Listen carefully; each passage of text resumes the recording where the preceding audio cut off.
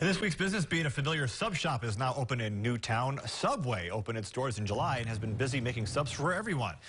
The supervisor says they do a lot of orders for the oil field and for the reservation.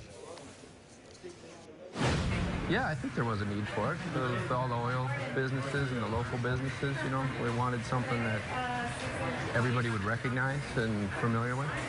This is the only Subway in New Town. And one more for you. Groove